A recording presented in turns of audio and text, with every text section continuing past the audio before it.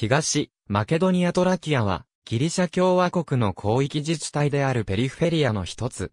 ギリシャ共和国の北東端に位置し、ギリシャ領マケドニアの東部と、トラキアのギリシャ領部分からなる。主婦はコモテニ。日本語文献では、現代ギリシャ語に基づいて、東、マケドニアトラキ、東マケドニアトラーキと表記されることもある。東、マケドニアトラキア地方は、ギリシャ共和国の北東端に位置し、西には、中央マケドニア地方がある。東にトルコ、北にブルガリアとの国境に接している。東西に長いペリフェリアで、エーゲ海上のタソス島、サモトラキ島もペリフェリアに含まれる。ギリシャの地理的な地方区分によるマケドニア東部とトラキアからなる。ギリシャ領のトラキアは歴史的な領域としてのトラキアの一部で西トラキアとも呼ばれる。なお、トラキアはラテン語由来の表記であり、現代ギリシャ語ではトラキと呼ぶ。ペリフェリア西部のドラマ県、カバラ県、タソス県がマケドニア、ペリフェリア東部のクサンティ県、ロドペ県、エブロス県がトラキアに属する。東、マケドニアトラキア地方で最大の都市は、西部にあるカバラである。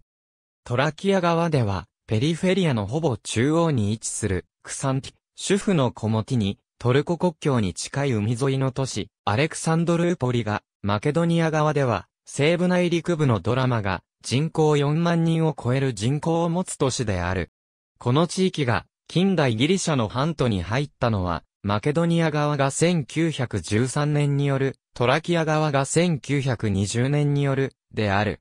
1987年の地方行政改革により、従来の地理的な地方に代わる行政区画として13のペリフェリアが設置された。この時、マケドニア東部とトラキアを合わせて東、マケドニアトラキア地方が設置された。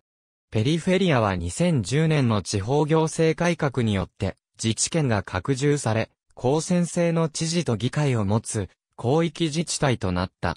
東、マケドニアトラキア地方は以下の6つの行政区から構成されている。人口は2001年国勢調査時点。2010年の地方制度改革以前は自治体としての県が5つ置かれていた。2011年1月1日にノモスが廃止されて、行政区となった。この時、カバラ県からタソス県が分かれている。東、マケドニアトラキア地方には、基礎自治体である市が20にある。グレーン -51 号線、コモティニ駅、カバラ港内の地名は、ペリフェリア街を示す。ありがとうございます。